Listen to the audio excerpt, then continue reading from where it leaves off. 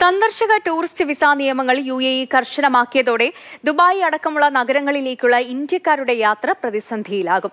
താമസരേഖകളും മടക്കയാത്ര ടിക്കറ്റുമില്ലാതെ യാത്ര ഇനി സാധ്യമാകില്ല. Visa മാറുന്നതിനായി Oman അടക്കമുള്ള രാജ്യങ്ങളിലേക്ക് പോയവരുടെ മടക്കയാത്രയും പ്രതിസന്ധിയിലാകും.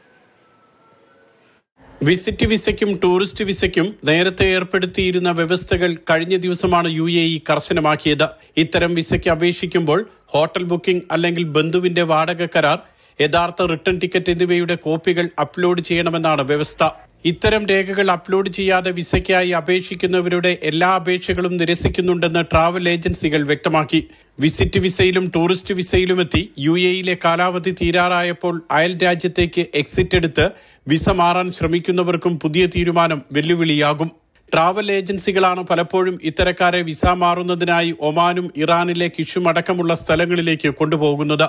എന്നാൽ മടക്കയാത്രയിൽ യു എയിലെ വിമാനത്താവളങ്ങളിൽ എത്തുമ്പോഴാണ് പലർക്കും ട്രാവൽ ഏജൻസികൾ വിസ തരപ്പെടുത്തി നൽകുക. പുതിയ രീതി നടപ്പായതോടെ ഇത് ഇനി സാധ്യമാകില്ല. ഇതോടെ വിമാനത്താവളങ്ങളിലെത്തിയ പലരോടും ട്രാവൽ ഏജൻസികൾ സ്വദേശത്തേക്ക് മടങ്ങാൻ ആവശ്യപ്പെട്ടതായാണ് സൂചന. അതേസമയം കൃത്യമായ രേഖകളുമായി ഇന്ത്യയിൽ നിന്നും ടൂറിസ്റ്റ് വിസിറ്റ് വിസയിൽ വരുന്നവർക്ക് ഒരു വിധത്തിലുള്ള തടസ്സങ്ങളും ഉണ്ടാകില്ല. യു എ ഇ നിർദ്ദേശിക്കുന്ന മാനദണ്ഡങ്ങൾ കൃത്യമായി പാലിച്ച് യാത്ര ചെയ്യണമെന്നാണ് നിർദ്ദേശം.